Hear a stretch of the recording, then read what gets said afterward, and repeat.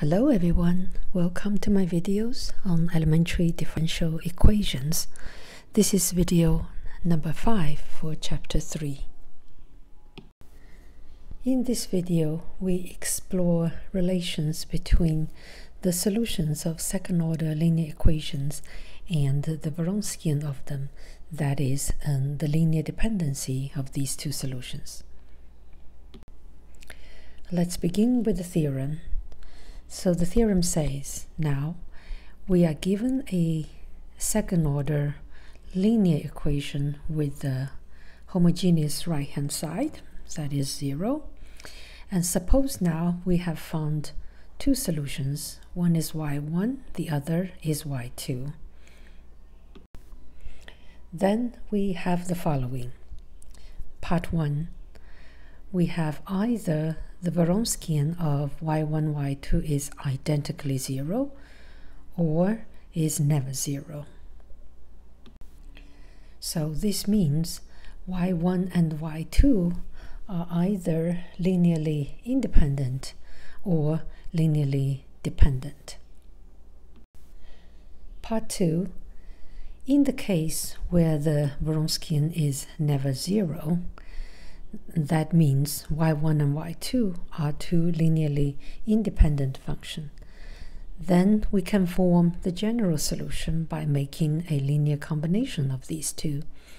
So y equal c1y1 plus c2y2 is the general solution. Here c1 and c2 are two arbitrary constants. And this set of solutions, y1 and y2, which are now linearly independent, they are also called to form a fundamental set of solutions for this homogeneous differential equation.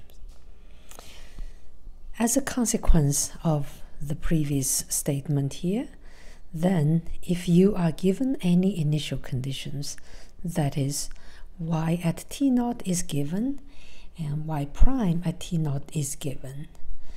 Then there is a unique set of values for the constants c1 and c2 that will give a unique solution.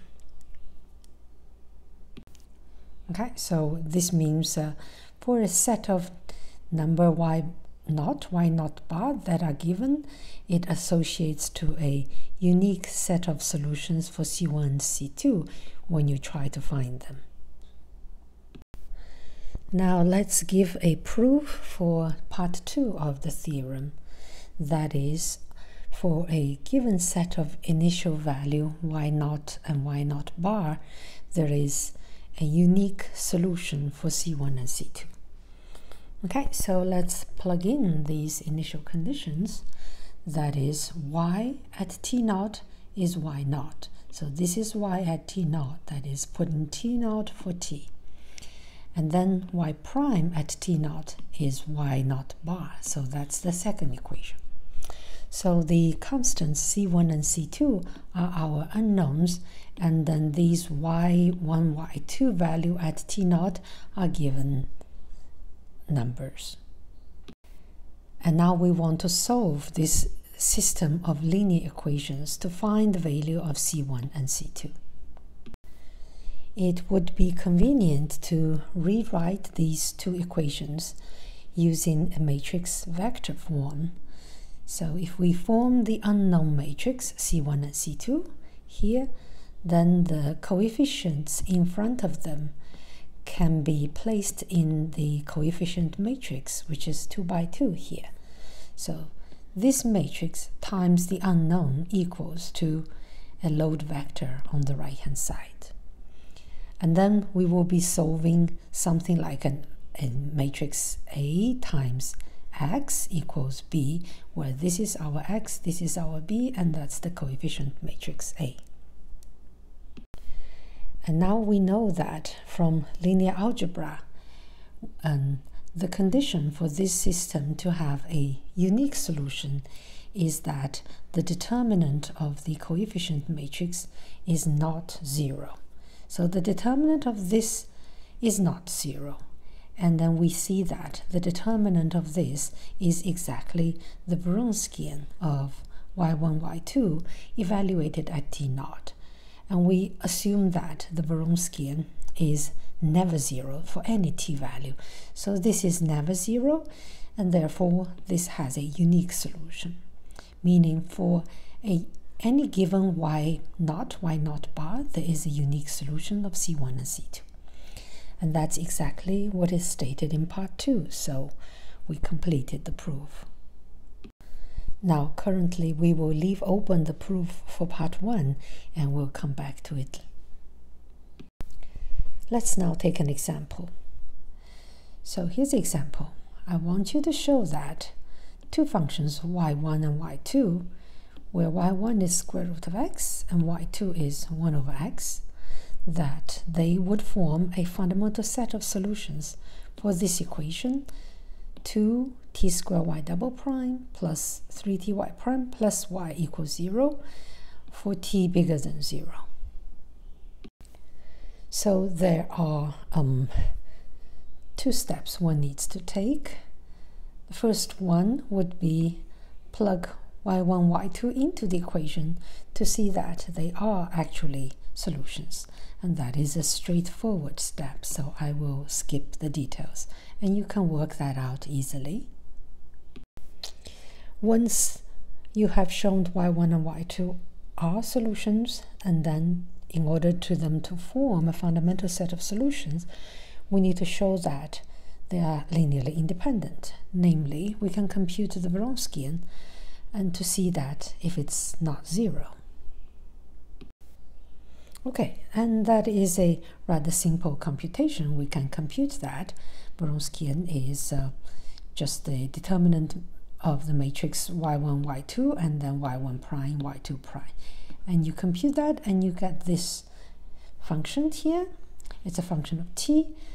And then we see that it is strictly less than 0, it will be never than, than equal to 0 for t bigger than 0 because that's the part we're interested in. And then therefore y1, y2 are linearly independent and they can form a fundamental set of solutions for the differential equation. Now the next theorem is uh, probably the most important one in this chapter. It carries the name of a famous Norwegian mathematician, Abel. So we call this Abel theorem. Let's give the statement first. So let now, again, y1 and y2 be two linearly independent solutions to the homogeneous linear second order equation. Okay, so if we say two solutions for the equation from now on, we will imply that they are linearly independent because otherwise they are basically the same solution and it's not interesting to talk about them as a set. Okay, so let's say they are linearly independent and then given on an open interval which we call interval i. Then if you compute the Wronskian of this on this interval i, and you know they're never zero, but for this equation, it will take a specific form. That is, the Wronskian equals to the exponential of the integral of negative p dt and multiplied by some constant c. So note that this negative p here is the coefficient here in front of y prime and you can put that in if the equation is in this standard form where the coefficient in front of y double prime is 1. So here the constant c would depend on the solution y1 and y2, um, but independent on t or on the interval i. Okay, so um, let me comment on this dependence. So if you have y1, y2, let's just take y1, that say it's a solution for this equation, then you can multiply y1 by any constant and it's another solution. So you can take different forms of y1 and therefore it will affect this constant here. Okay, and the same thing happens to y2. So constant c will depend on the specific choice of y1 and y2, but it shall be independent of the other parameters in the theorem. Now we remark that um, if this theorem is true, which we will prove, then this theorem proves part one of the previous theorem. Okay, so the previous theorem says the two solution y1, y2, the Wronskian is either identically zero or never zero. So, and then if you have proved Abel theorem, then you know the Wronskian of two solutions equal to this expression. So here the expression for the um, um, exponential function of this integral, that is never zero. So you have two situations here. One is the constant c is zero, then the Wronskian is zero, and then the two functions are actually linearly dependent. And then the second case is when this constant c is not zero, then this expression would never be zero. Okay, so um, let's see now how we can prove this theorem. Okay, let's give a proof. It's um, not too complicated, so let's try that. Okay, so y1, y2 are two solutions, so they will both satisfy the equation. So let's plug in and the equation should hold. So here we plug in y1 in the equation and it holds and then here we plug in y2 in the equation and it holds. So we have two equations now. Now let's do some manipulation. We will multiply the first equation here by negative y2 and we multiply the second equation by y1. Okay, so negative y2 is multiplied on each term and it's zero. And then y1 is multiplied on each term here and then the right hand side is still 0 and then we will add up the two equations okay? So what you will have okay what we write here is the term by term summation so we see if we add up these two terms you will get y1 times y2 double prime and then this term will be negative y1 double prime times y2 so we put here. And then for the second term, this will be negative y2, y1 prime times a pt, and this will be a y2 prime, y1 times a pt. So we take out the pt and we put the terms involving y here. And the third term, if you multiply this by negative y2 and this by y1, they become the same with the opposite side, so they cancel. It's therefore nothing, and the right hand side is zero. So we have this equation, which involves both y1 and y2.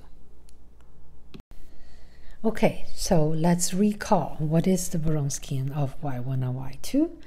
It is y1, y2 prime minus y1 prime, y2. And we spot immediately it's exactly this term. Okay, and then what is the derivative of the Wronskian? Okay, one can differentiate this one more time and use the product rule for each term. This will give you y1, y2 double prime, which is here, and then plus another term y1 prime, y2 prime. And then this you will get y1 prime, y2 prime negative, which cancels that term, so it's gone. And then you will have y1 double prime y2 which we carry here.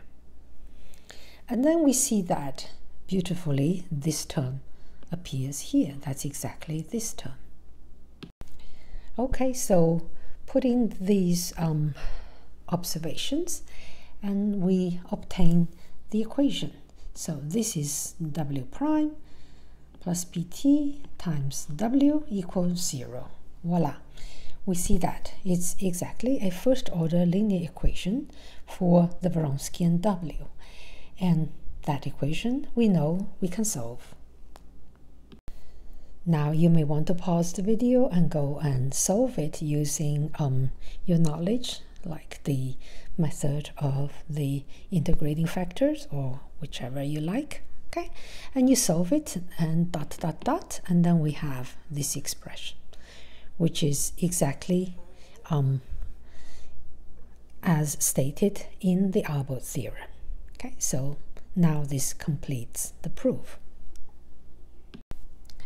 Um, now I would like to um, apologize to the viewers of my habit of, as a mathematician, of uh, solving one situation and then later on reduce the situation we are faced in into the situation that we already knew how to do it and then I would do not repeat the details like here and then I just say this we know how to handle and I give you the solution. If you have taken more math courses you might have noticed this is rather a common habit for mathematicians. Now let me end the video with a, a nice little joke on that topic. So it says that, legend says, once upon a time, a mathematician and an engineer somehow got stranded on an island. And they were very hungry and very thirsty, so they were looking for food. And they searched and they found two coconut trees. Let's call them tree A and tree B. The engineer, being the handyman usually, and climb up on tree A and managed to take down the coconut and then managed with a stone or whatever handy tool he could find to open it. And the two of them happily devoured this delicious coconut. And the mathematician now he's very happy. So he climbed up on tree b managed to take down that coconut and then he climbed back up on tree A and fixed the coconut on tree A, and then he came down. Then he happily told the engineer, Ha, now we reduced this to a problem that we know how to solve. Okay, so um, that is all I want to say in this video.